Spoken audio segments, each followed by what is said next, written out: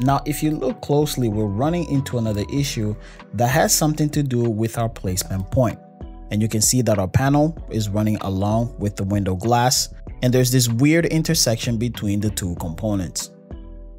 Now we can solve this by changing the placement point, which defines where your assembly will snap when you start your path. So let's go to placement point and it will open this 2D view of our panel. And as you can see, this is exactly where we had our component axis and we can change this to any other point. So I'm going to set this to the bottom left corner and you can see that we've now set a new point. So keep in mind that Profile Builder doesn't modify the component axis. Instead, it automatically adjusts the left and right offsets for your assembly part based on the new placement point. And as a result, you can see in our setting that we have a 4 inch value on our left and right offset.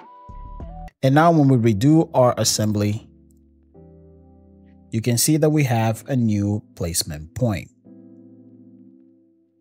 So click, and this time we're actually going to cover the entire building.